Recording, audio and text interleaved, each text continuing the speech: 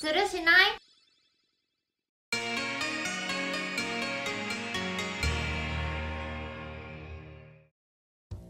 それでは今回の匠ご覧ください。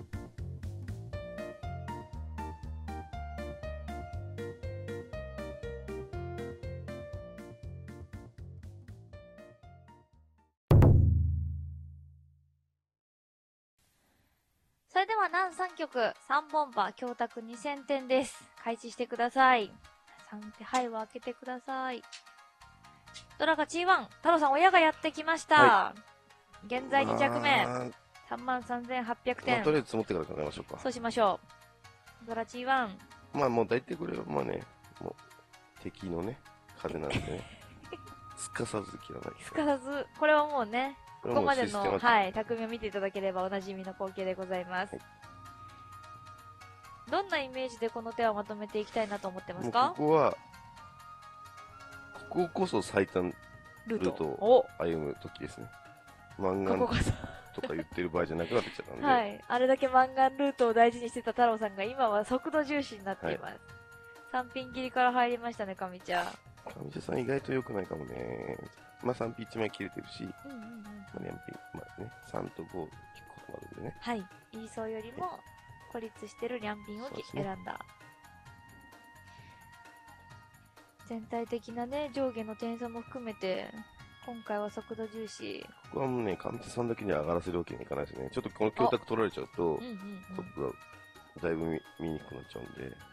あー、でもなんだ、3品切りからのシャワーやべえな。速さを感じますか？ちょっとね、感じざるを得ないけど、あ、いいとこ引いた。パスワンが入りました。ね、自然はいにイーソー、まあ、あの、お手本のようなはい位置だ。これ別にそんな説明する必要ないね。今のこの状況でちょっとでも上がられて、神ちゃんに、はいで、教託と本場全部持ってかれると、1万点差以上ついちゃうんですよね。うん。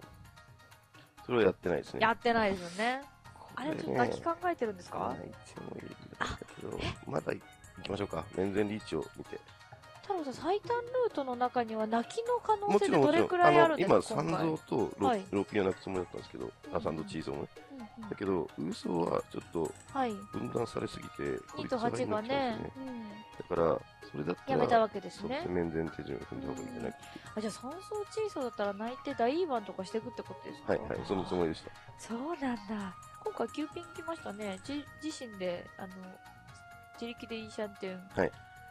まあ、どうこ打ちますまあまあまあ、パーソカリアンドなんですけど、まあ、ここほぼ差がないですよね。ただ、まあね、まあまあ一応ですけど、3色とかの可能性を相手が追っているとしたら、下の方が安いんで、はい。まあ一応ですけど、ファーストぐらいにしとこうかなという感じですね。下の方が場にやすい。はい。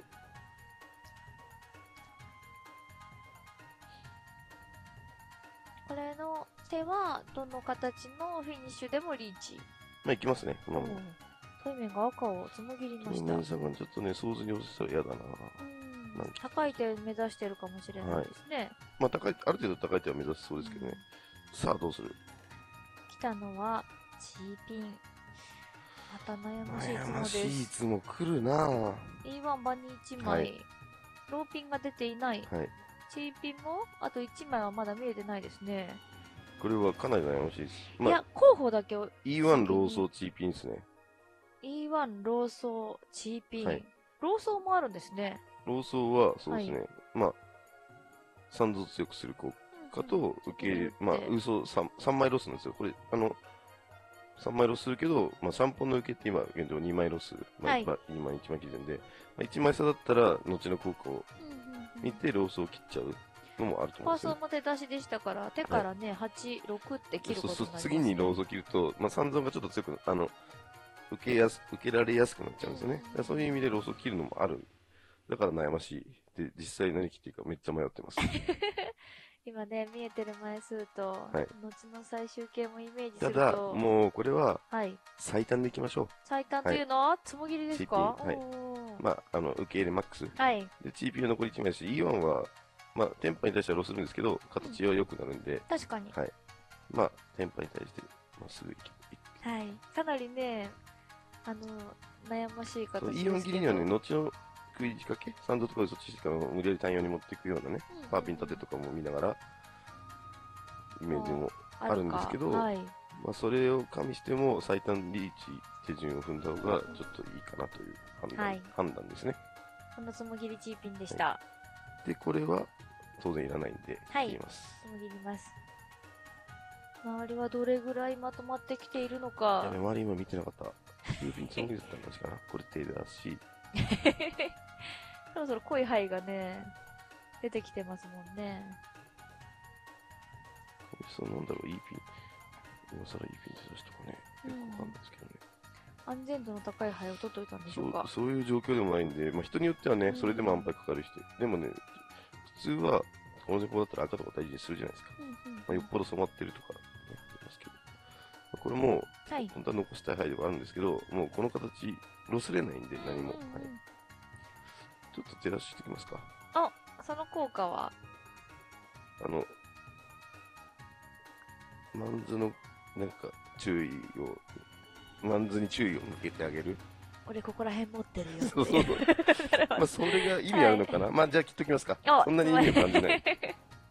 でもその思考もありますよね。はい一つ一つこう手出しつもぎりをね、見てる方には情報にもなりますしね。さあ、このカンちゃん埋まるか。いいシャンテンですけれども。ああ、風ワン手出し、カニちゃん。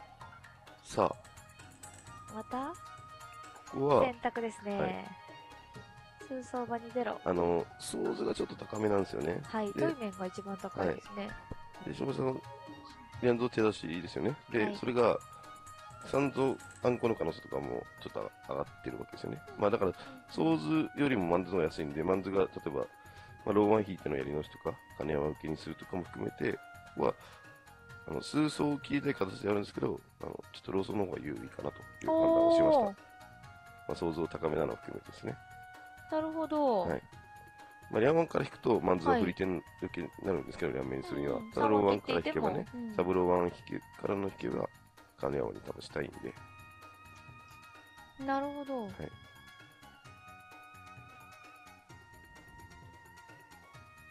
さ最短ルートは？あ、はい、これ今は、度は9ピンか。はい、最短ルートは多分枚数では9ピンの方がいいんですけど、はい。ちょっとそソーズ高めとパーパーピンは結構、あの、チーピン自分から3枚ねえ、に悪くないはい、ですね。人が使いづらいところなんで、そうそうパーピン受けは残したい、打点的にもね。うんうんすると、やっぱ高いところを、あ、ヤンソーですか、はい、決めちゃう、はいあの、薄く、なんていうの、テンパイ、上がりまで見ると微妙、ウーピンとかもああるかもしれないですけど、うんうんまあ、ソーズがちょっと高めか込みで、ここはヤンズを切りましょう。うん。統一をね、1と4、E1 と数層で残して、ローピン、パーピンの受け入れも作っています。数層さらっと切られた 心の声が漏れ始める。これも切っていくわけですも。か、はい、これはまあ、切るしかないですね。なかなかテンパイが入りません。とりあえず早くテンパ入れたいですようね。んあれ、パーピンあの人持ってたんだ。ってことは、まあ大体1ピンが薄いと考えたら、ローピンが9ピン持ってそうだな、みたいな。うんうんまあでも、枚数的にはローピン、ローピンをね、持ってる可能性が高いですよね。まあ、つってもそれは、パターンの比較的多い。あ、まあ、チュンは、もう、もういらないんでね、そう、目ションパいっぱいで。イでもね。はい。ああ、つもりが絶これパーピンもかなり苦しくなりましたねね。。でもまあ、ねえ、やめてほしいな。スーソンも苦しくなるし、パーピン苦しくなるし太。郎さん、この手って、形式転売っていつ頃持ち始めます？あの意識は。結構終盤ですかね。まだまだじゃあ、もう、あと、あらら、来ちゃった。さあ、こ手こで出しリーチ。パーピン、チーピンのタートとシリーチ。チートイでもない。今ね、手出しでしたね。